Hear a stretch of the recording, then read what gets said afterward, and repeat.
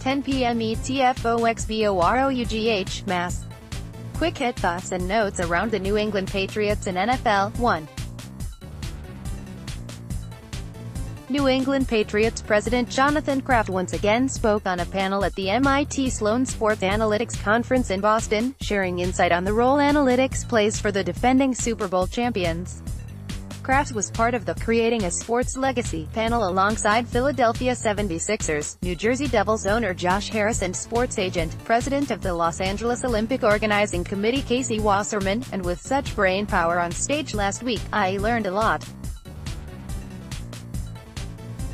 One thing that stood out specific to the Patriots is their forward-thinking approach with technology and scouting, and what has resulted from it, who can spend big cap space for every team why Giants are stuck in rebuilding limbo Thomas, Matthew Fit Ravens needs Matthew, Jackson priorities for Texans predictions for all 32 teams top free agents NFL draft, mock drafts, prospects and more. When we came into the league in 1994, there were a couple of national scouting services that every team subscribed to, because it was hard to get tape or film on everybody. So everybody was getting the same reports on the same players. You had your own scouts that would go out and look at things, but it made no sense to us, how the most competitive part of this business, you're sharing, Kraft said on the panel, which was moderated by ESPN's Jackie MacMullan, so we started working on early iterations of a proprietary database. Flash forward to today, off any mobile device, you can access information about any player on our roster, or anybody we're scouting, analyzed in our system's dynamics, and then tracked once they become a pro even if they're not with us. What that lets us start to do is see how good our internal scouting metrics were early on. You start to track and see where scouts have strengths and weaknesses. So we know, maybe Scout X, he nails it on receivers.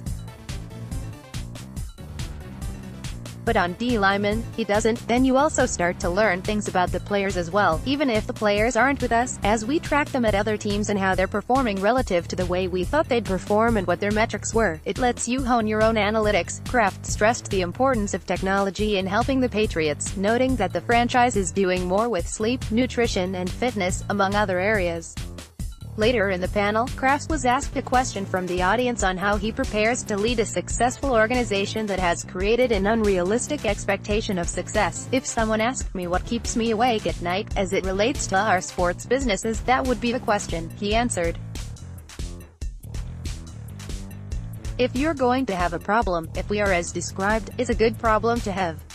I think what makes it harder in the NFL it's building the team and that's why the personnel tools I was talking about are so important to us. What keeps us awake at night is how we're going to stay at least at a consistently above average level, if not competing for championships, when the coach and the quarterback who are such important elements of the group that puts a football team together are no longer with us.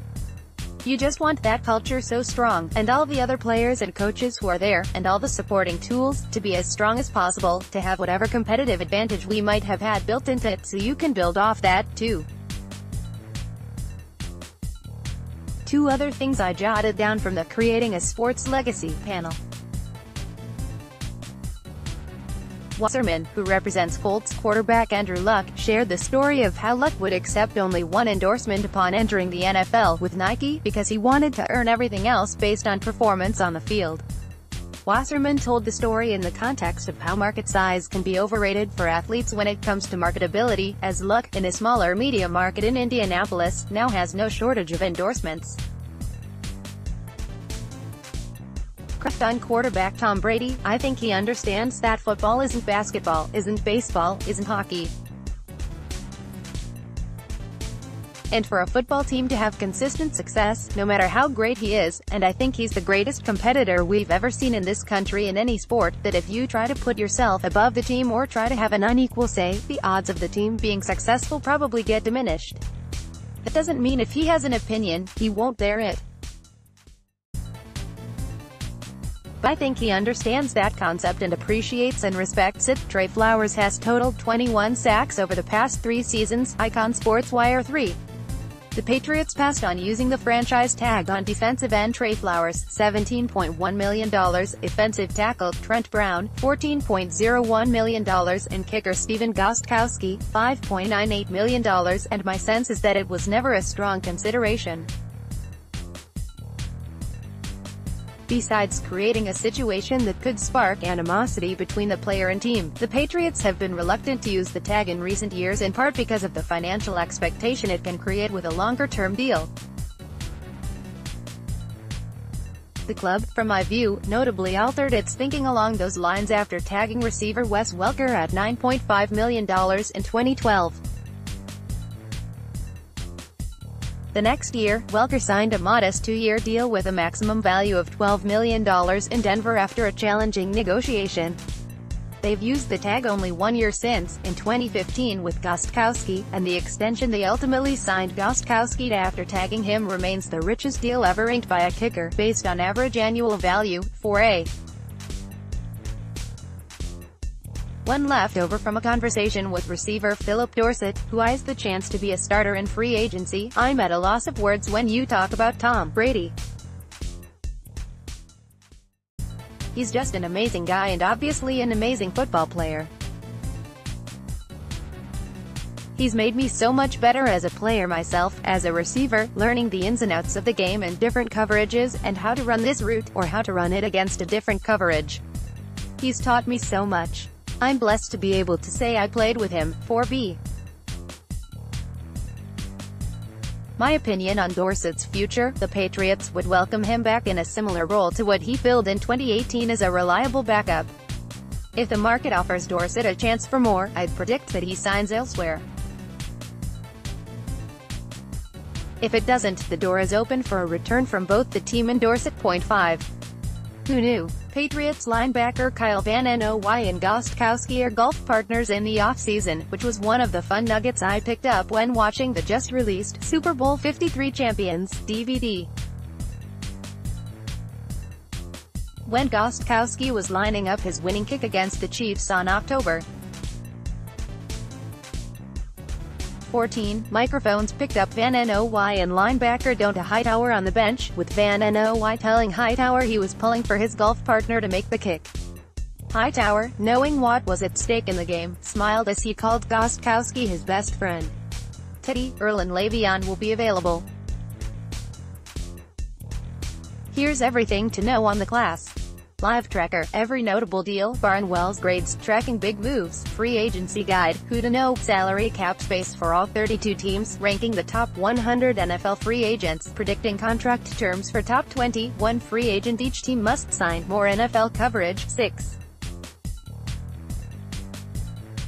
The Patriots released veteran tight end Dwayne Allen last week because his $6.4 million base salary wasn't aligned with his projected role in 2019, and another player who could be in line for a similar fate is veteran defensive end Adrian Clayborn.